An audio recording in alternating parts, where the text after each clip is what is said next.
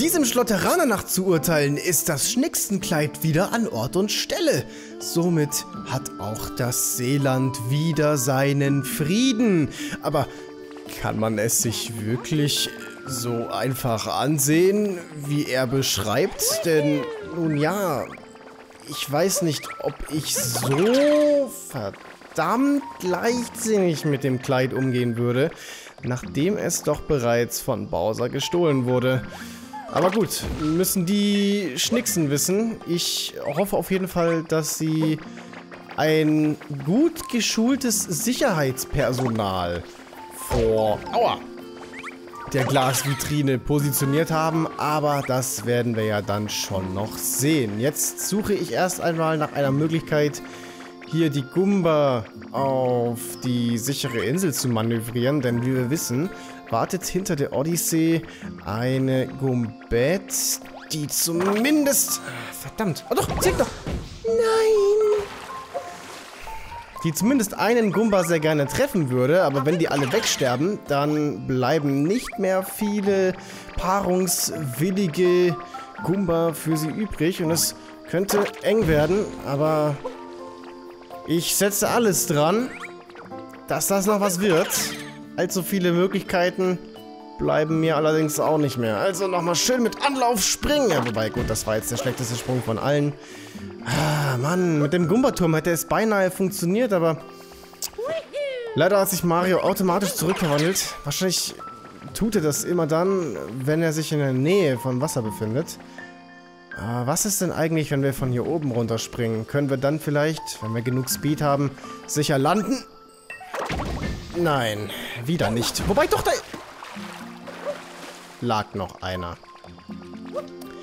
Ich weiß nicht wirklich, wie es genau gemacht werden soll, aber eine andere Möglichkeit bleibt mir ja nicht. Es gibt nur diesen Weg zur Odyssee und keinen anderen. Eigentlich dachte ich, dass dieser Mond mit Gumbett geschenkt wäre, aber da habe ich mich wohl geirrt. Okay, und wenn ich mich erstmal hier auf diese kleine Mauer stelle und diese paar Zentimeter ausnutze? Auch dann nicht.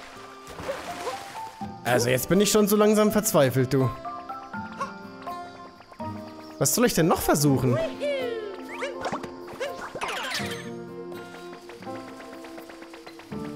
Irgendwie muss ich doch diesen Gumba darüber kriegen. Ach nein, auf einmal. Sogar so eindeutig. Kann ich mir ehrlich gesagt nicht erklären, warum der Sprung jetzt tausendmal besser war als all die davor. Aber wie auch immer, ich bin froh über den Mond Nummer 5 hier im Seeland nach unserer Rückkehr. Fehlen nur noch ein paar denn allzu viele haben wir hier nicht nachzuholen. Ich gucke kurz auf die Karte. Wo ist denn der nächste? Ah, stimmt, den da drüben habe ich jetzt noch vergessen. Da meinte ich in der letzten Folge noch, dass man wahrscheinlich ähm, rückwärts durch den ganzen Tunnel schwimmen muss, um an den Rand zu kommen. Aber mittlerweile würde ich diese Aussage gerne revidieren, denn ich habe mich erinnert, dass man ja eigentlich auch ganz einfach hier den Reißverschluss benutzen könnte und dann kommt man auch super leicht an den Mond hinter dem Schleusentor heran. So, in der Unterwasserhöhle selbst ist nichts, oder? Weil eingezeichnet sehe ich nichts. Also denke ich, nein. Gut, dann steuern wir die zwei Monde hier in diesem Wasserbereich an. Sammeln die ein und ich möchte mich ganz kurz bedanken dass Super Mario Odyssey auch nach 80 Parts immer noch sehr erfolgreich ist und ihr es somit gerne guckt. Aber ja, wir nähern uns mit großen Schritten dem Ende. Auch das ist nicht zu leugnen. Und wartet mal, ist hier nicht der Ort von einer oder sogar zwei Munden, die auf eine Hinweiskunst basieren. Ja, doch. Einmal der hier. Und einmal Hey, Moment mal, mir fällt auch gerade ein, wir haben dieses Rätsel hier gar nicht gelöst.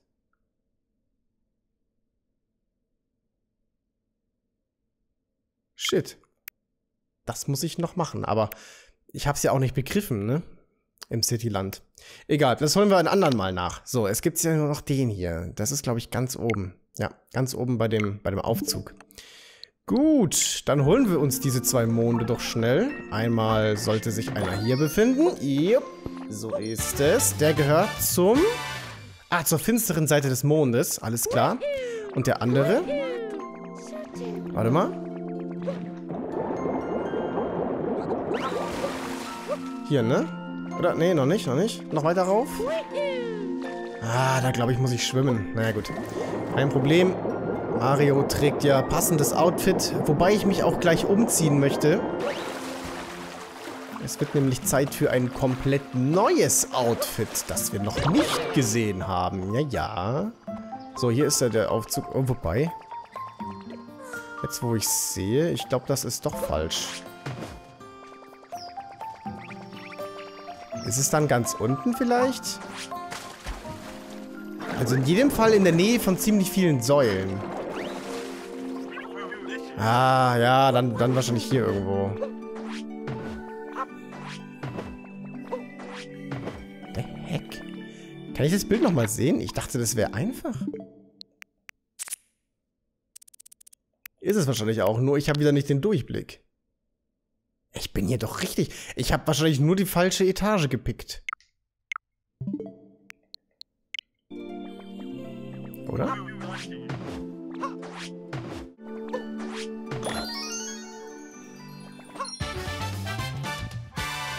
Also doch hier. Es ist doch die andere Seite gewesen. Also nicht hier, sondern da drüben. Dabei war es doch so einfach. Okay. Ja. Immerhin ist es jetzt abgehakt und wir können den nächsten Mond ansteuern. Wo genau ist der denn? Da unten? Im, im Wasserlabyrinth? Oder? Oder wo soll ich ja suchen? Könnte natürlich auch über mir stecken. Bin ich mir jetzt nicht ganz sicher. Sehr schwer zu erkennen.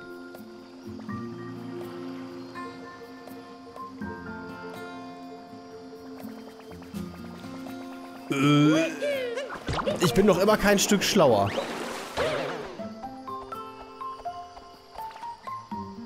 Nee, also hier er nicht. Ist hier irgendwas anderes vielleicht noch? Ah ja, doch, hinter mir. Guck mal. Ja, da. Der ist einfach. Der ist wirklich einfach. Dann holen wir uns den. Die Wand hoch. Und als nächstes würde ich vorschlagen, dass ich da einfach nochmal runterschwimme in diese Höhle. Vielleicht versteckt er sich ja da. Weil es muss ja ein sichtbarer Mond sein, ne? War doch zumindest so gut wie immer der Fall.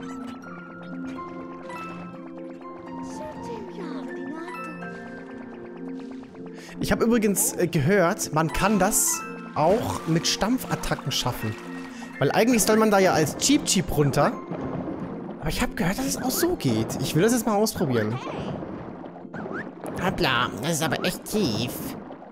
Ja, deswegen war ich mir auch sicher, dass es ohne Cheap Cheap nicht geht. Aber wie es aussieht, haben die Entwickler das nicht ganz so gut programmiert. Es soll viele Leute geben, die das problemlos geschafft haben. Gut, vielleicht hat man das ein oder andere Leben verloren, so wie es auch mir jetzt passieren wird. Aber es ist definitiv machbar. Wir sehen es hier ja gerade selber. Da kannst du Luft holen und dann ist die Gefahr gebannt. Jo, so ist es. Den Mond sehe ich allerdings... Ah doch, da! Da ist er! Ich hab ihn. Tief unten im Wasser. Der war jetzt aber auch ein bisschen unnötig platziert, oder? Ich meine, hier unten war doch schon Captain Toad. Mit dem Mond hätte man irgendwas anderes anstellen können, meiner Meinung nach. So, jetzt holen wir uns aber endlich das neue Gewand, das ich versprochen habe. Ich habe dafür Offcam sogar ein paar Münzen gefarmt. 300 oder so waren es. Das sind jetzt nicht so viele, aber wollte es trotzdem erwähnt haben. Gleichzeitig bedeutet das auch, dass es mich bettelarm machen wird. Und dass wir für alle anderen Gewänder deutlich länger und mehr farmen müssen. Vor allem für das Skelett-Outfit. OMG. Aber jetzt kommt erst einmal Gold Mario an die Reihe. Der schaut bestimmt richtig geil aus. Ich bin eigentlich kein Freund von diesen Metall-Marios. Ja. Aber seit Mario Kart 8 Deluxe habe ich mich so ein bisschen in Gold Mario verguckt. Und ja, auch hier in Mario Odyssey finde ich ihn ziemlich cool. In New Super Mario Bros. 2, wo er ja, glaube ich, seinen Ursprung hat, da fand ich ihn irgendwie irrelevant. Aber in den anderen beiden Games, also hier Odyssey und Mario Kart, da finde ich ihn... Da finde ich ihn nice. Warum auch immer. Gold Mario geht dem Seeland auf den Grund. So oder so ähnlich werde ich wahrscheinlich auch die Folge nennen. okay, gut. Was haben wir hier noch? Da oben einen Mond. Und das Cooper Freerunning. Danach müssen wir wieder mit Schnackelchen sprechen. Wobei mir, glaube ich, auch nicht mehr so viele Monde fehlen, oder? Ich gucke gleich mal auf die Liste. Aber erst versuche ich den anderen da zu finden. Wobei ich glaube, ich habe den sogar schon gesehen. Da hat doch was geleuchtet. Hier. Und ich bin mir ziemlich sicher, dass das im Spielverlauf noch nicht geleuchtet hat. Stimmt's? Ja, es ist die Zielmarkierung laut Kompass. Somit ein weiterer Easy Moon auf dem Dach des Aquagrunds. Und jetzt schauen wir mal auf die Liste. Was fehlt noch? Es sind tatsächlich noch sechs Monde. Minus Cooper Freerunning bleiben also vier übrig. Und die Hinweiskunst habe ich schon. Weil die ähm, zeigte, was war es? Das Kaskadenland, genau. Das haben wir schon gemacht. Ach ja, stimmt, Peach. Wie konnte ich dich vergessen? Vor allem in diesem Land. Buh. Ist zwar dasselbe Outfit wie im Küstenland, aber immer noch ein Hingucker. Ich kann gar nicht sagen, was ich hier toller finde. Die Einheimischen oder die Architektur. Wurde hier das Schnechsenkleid genäht, das Peach getragen hat? Erinnere mich nicht daran. Hallo? Das war die Hochzeit mit Bowser. Das ist ein Trauma. Übrigens, vorhin kam ein Mond vorbeigeflogen. Bei dir ist er sicherer. Er kam vorbeigeflogen. Okay. Diese Festung. Jetzt hätte ich ja die Gelegenheit, freiwillig dorthin zu reisen. Bowsers Festung. Als ob du nicht sonst auch immer freiwillig hier bist. Also, in der Festung meine ich. Da braucht sie nicht so tun. Aber hier, diese, dieses Tic-Tac-Turnier haben wir gemacht, ne? Ja. Hm. Ja, dann bin ich jetzt leider echt überfragt. Und das wiederum bedeutet, wir kümmern uns um... Das Cooper Freerunning! Und danach sprechen wir mit Schnackhelchen, der uns mit Sicherheit weiterhelfen kann. Also Gold Mario. Du bist dran. Erstmal im Loserrennen und dann im Expertenrennen gegen Gold Cooper. Das passt ja. Sehr gut. Okay, wie schaut der Parcours aus?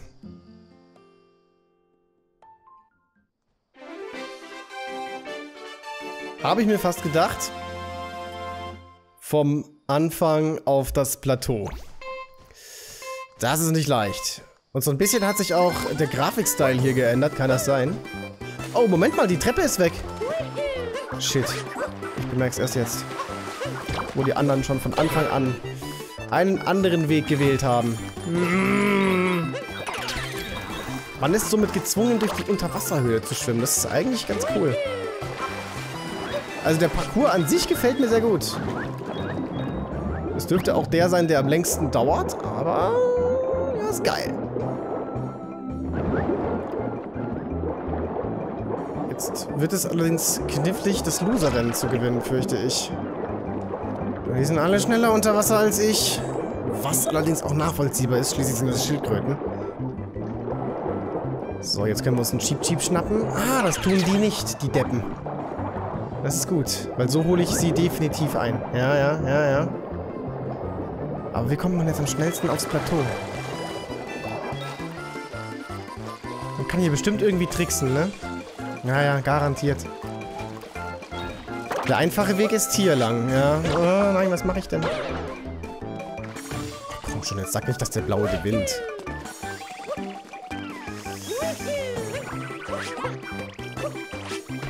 Oh, mach auf!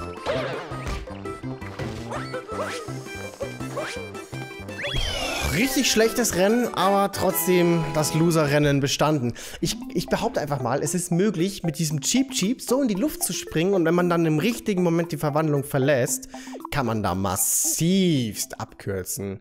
Ich überlege sogar, ob ich das probieren soll.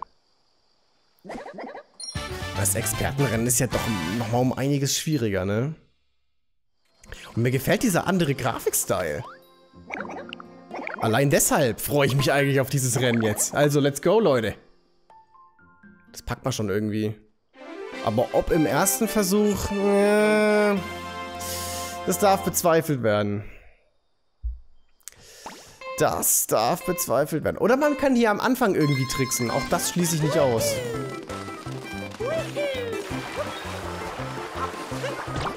Werden wir ja dann spätestens im Reaction-Video sehen. Ich jetzt schon eingeholt wurde. Mann, der Golden ist so gut, ne? Aber ich habe vorhin auch vergessen, schnell zu schwimmen, fällt mir gerade ein. Stimmt. Ich Idiot. Da habe ich einige wertvolle Sekunden hergeschenkt. Ja, wenn dann allerdings sowas passiert. Ne?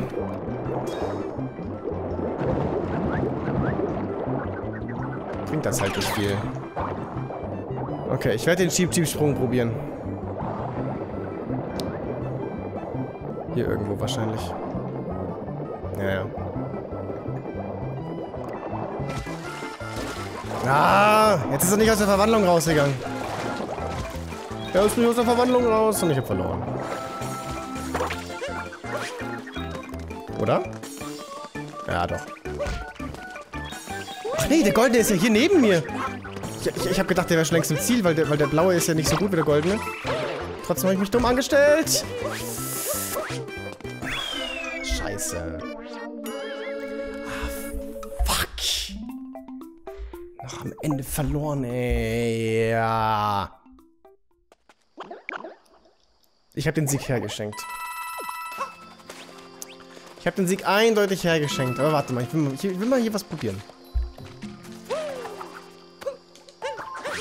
Das geht nicht.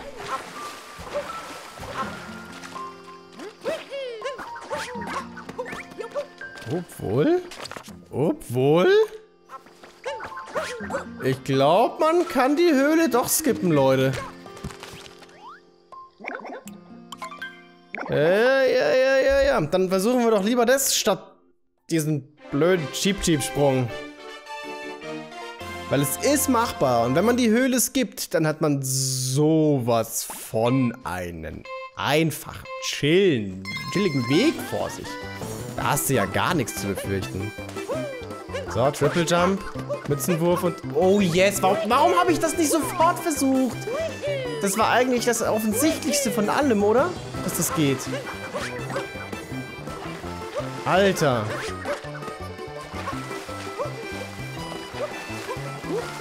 Ah, schinde keine Zeit jetzt, Mario. Wir werden es zwar easy gewinnen, aber trotzdem.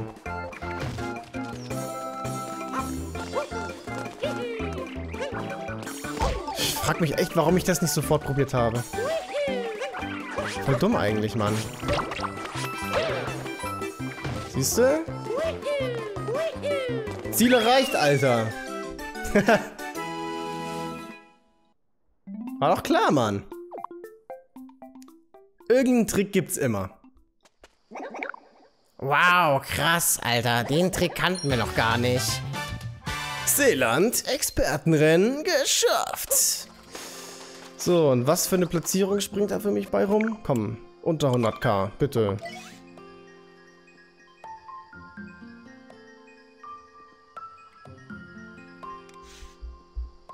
Yes! 44.000.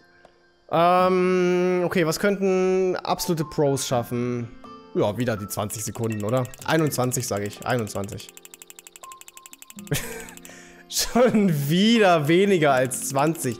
Junge, in 17 Sekunden zum Ziel. Wie denn? Das ist so krank. Ich sag's jedes Mal aufs Neue. Ich... Komm, reden wir nicht mehr drüber. Das muss man sehen. Sonst lässt sich das nicht nachvollziehen. Aber es ist pervers. 17 Sekunden zum Ziel. Wow. Okay. Schnackelchen, wo sind die letzten Monde? Ich habe leider keinen Plan. Hm? Hau mal ein paar Tipps raus. Im Stil des Wilden Westens. Hier will jemand das Outfit. Äh, das, das, das Cowboy-Outfit sehen? Wer? Okay, weiter. Weltraum ist der neue Trend? What? Oh, Moment, da habe ich vielleicht sogar eine Idee. Der Piratenlook ist in. Ähm, es muss irgendwo NPCs geben, die bestimmte Kostüme sehen wollen. Mir ist aber niemand aufgefallen. Ah, doch, sie. Oder? Nein. Aber wer dann? Es ist ja eigentlich immer jemand, den man ansprechen muss, ne? Und niemand, dessen Textbox einfach so aufploppt. Gott. Aber vielleicht schauen wir erstmal ähm, bezüglich des Mondes Weltraum ist Trend nach, weil hier drin, da ist ja dieses Puzzle am Start gewesen und ich finde, hier hat man so eine Art Weltraum-Look. Gibt jetzt ein schwierigeres Puzzle oder einfach einen zweiten Mond? Nee, es ist dasselbe Puzzle wie das letzte Mal. Dann wird es das nicht sein.